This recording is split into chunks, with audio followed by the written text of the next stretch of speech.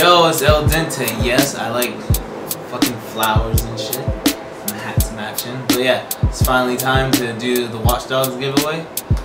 Uh, so I got a lot of entries for the Watch Dog giveaway. I actually wanted 200 before I actually, you know, did a drawing for it. So sorry for the delay or whatever you want to call it. It's not like y'all paid for it. Shit. Um, let's see who actually won. I'm doing three. Three.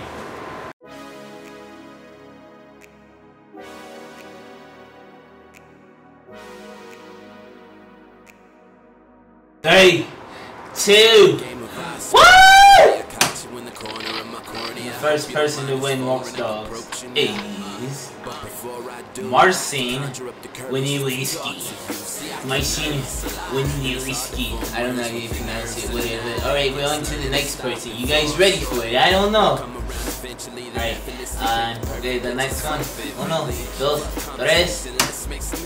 Uh, uh, uh, Brett Seisman?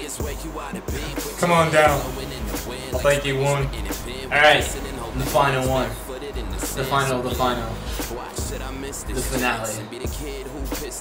The ultimate. The digital deluxe edition. That special shit.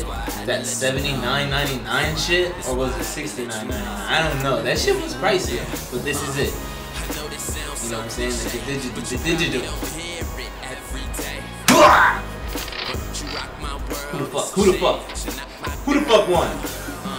Boss Mill. Shit. Who are you? I don't know, but you bro. So, yeah. Those are the people that won. Uh, good shit. Well played. I don't know what tactic you want, you used to win.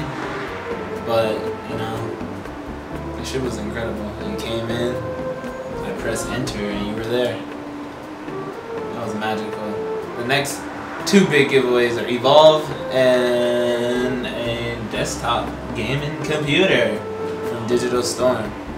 I'm debating on whether it to be a little shitty $600 computer or maybe give out, you know, I'm trying to figure out what the average PC gamer can't afford to get and they wish they had. And I'm thinking the average is 2000 I don't think the average PC gamer has 2000 to just fucking get a dope ass PC gaming machine max out every game. So I'm gonna do that for you, you know what I'm saying? Give you a shot.